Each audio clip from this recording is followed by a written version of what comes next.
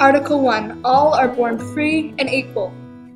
Article 5 No one shall be subjected to torture or cruel, inhumane, or degrading treatment.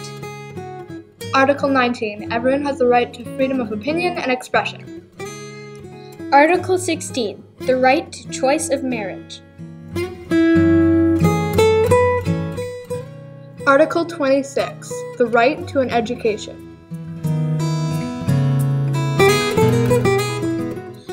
What are human rights?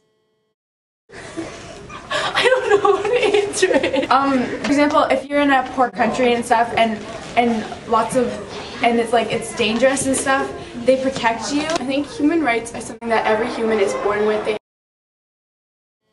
Can you name a human right? The right to like your own things. Every human is born equal in dignity and rights. The right to religion. The right to education. Why are human rights so important? Equal because they make this world a better place. It's like a standard. Should let you live a safer life. 150 million children are forced to work each day.